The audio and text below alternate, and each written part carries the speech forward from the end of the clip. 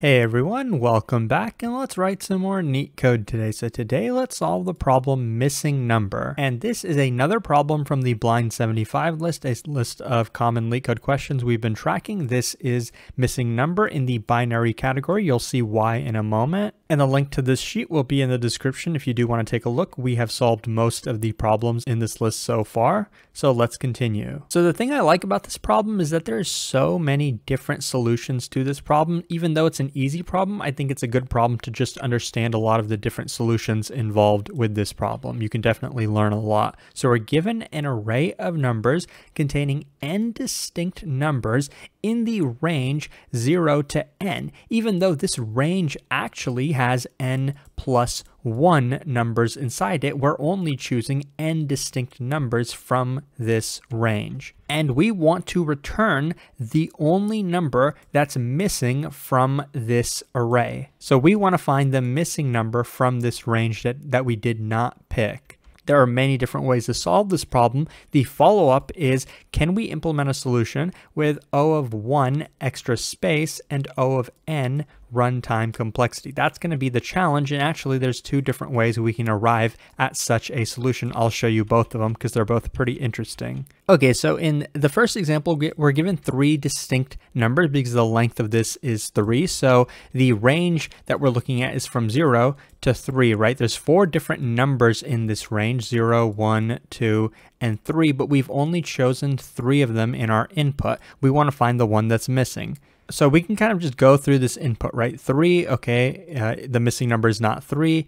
Zero, the missing number is not zero. One, the missing number is not one. So the only remaining number is two. So two is the missing number. That was a pretty easy way to solve the problem. What exactly did we do right now? Well, you could have you could think about this list of numbers as basically a hash set or hash map or whatever you want and we're basically iterating through the list of numbers and then crossing out the ones that are already uh, in, contained in the input list. So basically we used O of n extra memory with a hash set or map and O of n time complexity because we had to iterate through the input array. So that's actually the most simple solution, right? Using hashing to do this problem, but it does take O of n extra memory. The follow-up was, can we do this in O of one extra memory? There are two different ways actually that at least I know of that you can do that. So let me show you both of those right now. So one of the ways that we can solve this problem with O of 1 memory is going to be needing some binary properties. And if you've never really heard of this, there's no way you can kind of figure out this solution, at least this binary solution. It's going to need the XOR operator, the exclusive OR operator. If you don't know what this is, let me show you. Let's suppose we had two numbers. Let's say we had 2 and we want to exclusive OR it with 3. This is the symbol that you use for exclusive OR. So we're taking 2 and exclusive ORing it with 3.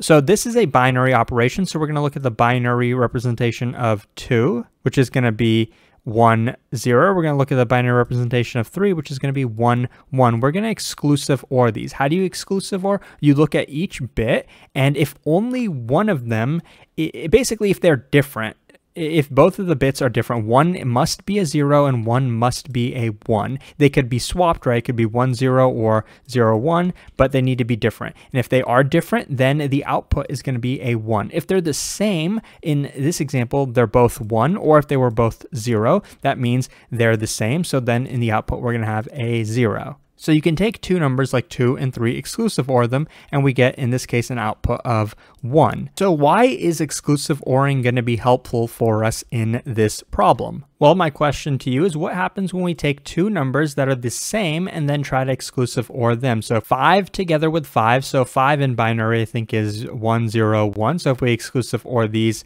together, what's going to happen? Well, we're going to look bit by bit. It's going to be the same. So we're going to get a 0 in the output. Again, it's going to be the same. We're going to get a 0 in the output, right? If they're 0, 0 or 1, 1, they're the same.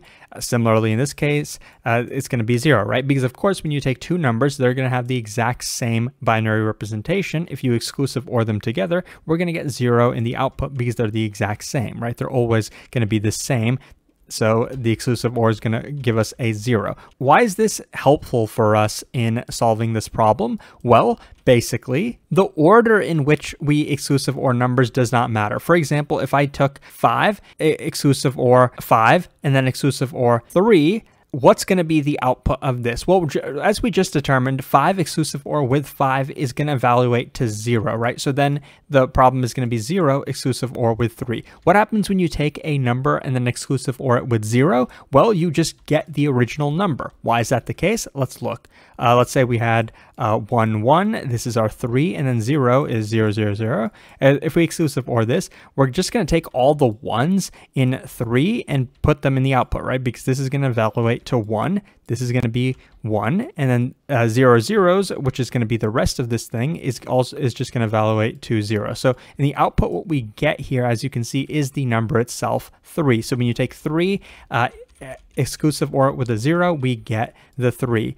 Uh, and the thing I'm getting at is uh, this operation, it doesn't matter the order that you do it in. If you do five exclusive OR three and then exclusive OR five, uh, we're still going to get a three in the output because five exclusive OR with three is going to be something sure. But basically, what I'm saying is the order does not matter, right? We can say, you know, five exclusive OR with five first, then these kind of cancel each other out, and then we're left with the three. So why is this going to be helpful? You might be able to figure it out by now uh, because I've kind of explained most of the logic here. So how are we going to use this simple fact to get the answer, get the missing number from this range that we're given, 0 to 3? Uh, we know one of the numbers happens to be missing. How are we going to do that? Well, we know one of these numbers is missing from this array, right? So what are we going to do? We're going to take the uh, the range 0, 1, 2, 3, exclusive OR it with the input array. In this case, it's 0, 1, 3, right? We're missing the 2. What's going to happen when we do this operation, this exclusive OR operation? Well, the zeros are going to match, right? Uh, the zeros are going to cancel out. The ones are going to cancel out, right? We're going to get rid of the ones. The threes are going to cancel out as well. And then once everything is canceled out, the 2 will be remaining because it's the only number that didn't show up twice because this was the missing number. This 2 was the missing number. So then once the this entire entire exclusive OR operation is done, we'll be left with a 2, which is the answer in this case. And we did it with O of 1 memory because we just had to really iterate through every number in this uh, input array, exclusive OR them together, and then iterate through every number between 0 to 3, exclusive OR them with the result of the exclusive OR over here. And then once all of those exclusive ORs are done, it's basically a linear time function. It's going to be 2, 2n because we're iterating through this array and iterating through that. So it's going to be O of 2n. The time complexity, the memory complexity is going to be O of 1 because we didn't need anything extra. And this solution is pretty easy to code up, but there's actually one additional solution that I think is interesting for this problem that I'm going to quickly go over. Let me explain how we're going to uh, arrive at the next O of 1 memory solution, and then I'm actually going to show you how to do it. The simple idea is going to be this. What if we took the sum of this range, 0 to 3, right? Basically the array from 0, 1, 2 to 3. We took the sum of this array, subtracted from it the sum of the input array, right?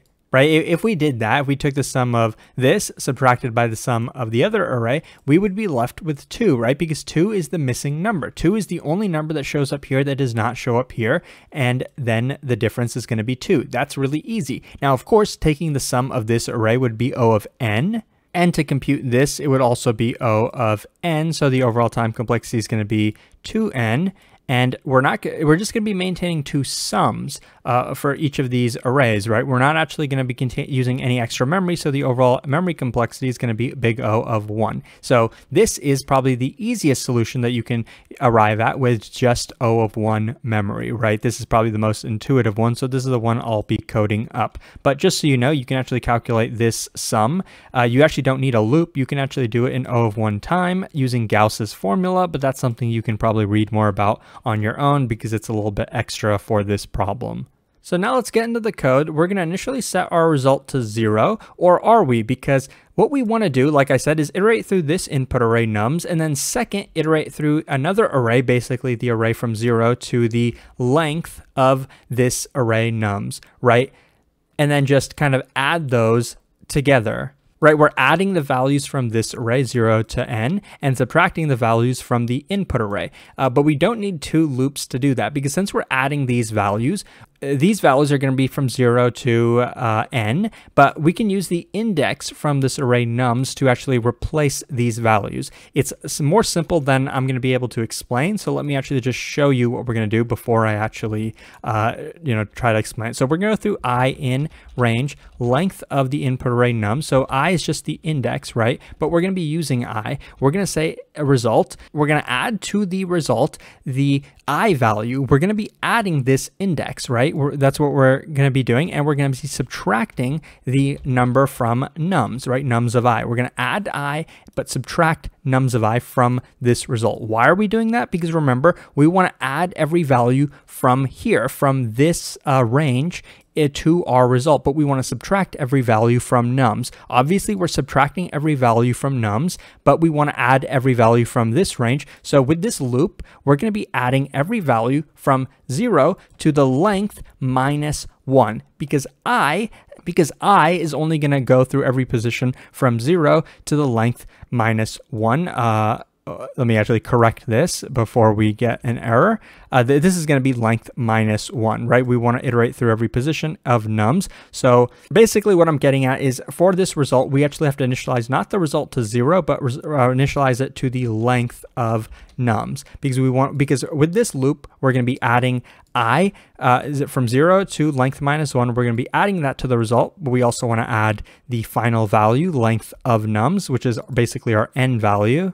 And that's pretty much the uh, explanation. I probably overcomplicated it in this case. Uh, it's a little more simple than you might think, uh, but this is the easiest way to do it with one loop. Then we can go ahead and actually return that result. Actually, I don't actually need this minus one because I just remembered that Python, the way Python works is I will implicitly, it'll, it'll stop before it actually gets to length of this. It'll basically be uh, length of nums minus one by, by default in Python. Uh, we can go ahead and run the code and you can see that it is very efficient. So I hope that this was helpful. If it was, please like and subscribe. It supports the channel a lot and I'll hopefully see you pretty soon. Thanks for watching.